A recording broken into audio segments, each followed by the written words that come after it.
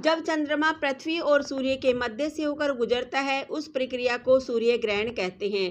पृथ्वी से देखने पर सूर्य पूर्ण या आंशिक रूप से चंद्रमा द्वारा आच्छादित होता है।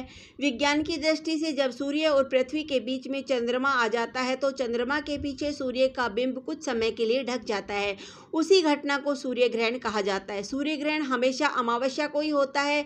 सूर्य ग्रहण के दिन सूर्य और चंद्रमा के कोणीय व्यास एक समान होते हैं। इस कारण चंद्रमा सूर्य को केवल कुछ मिनट तक ही अपनी छाया में ले पाता है।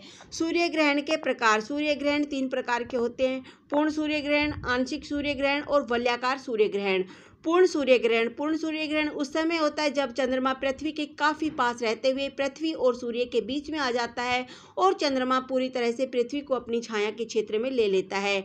आंशिक सूर्य ग्रहण आंशिक सूर्य ग्रहण उस समय होता है जब चंद्रमा सूर्य और पृथ्वी के बीच में इस प्रकार आ जाता है कि सूर्य का कुछ ही भाग पृथ्वी से दिखाई नहीं देता है, यानी कि चंद्रमा सूर्य के केवल कुछ भाग को ही अपनी छाया में ले पाता है।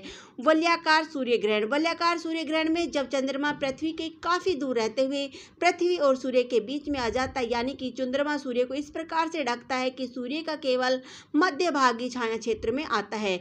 अग्निवल्य क्या है? सभी प्रकार के सूर्य ग्रहण के दौरान अग्निवल्य नहीं दिखाई देता है। इसका निर्माण केवल उस स्थिति में होता है जब सूर्य का केंद्र चंद्रमा से इस प्रकार ढक जाए कि सूर्य का केवल बाहरी किनारा ही दिखाई दे।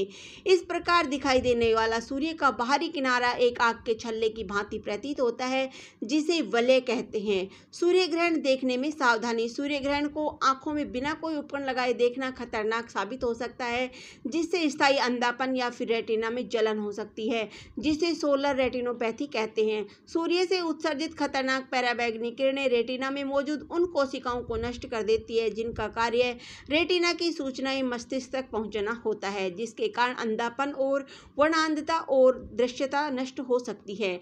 हिंदू धर्म के अनुसार सूर्य ग्रहण हिंदू धर्म में सूर्य ग्रहण का बहुत महत्व है।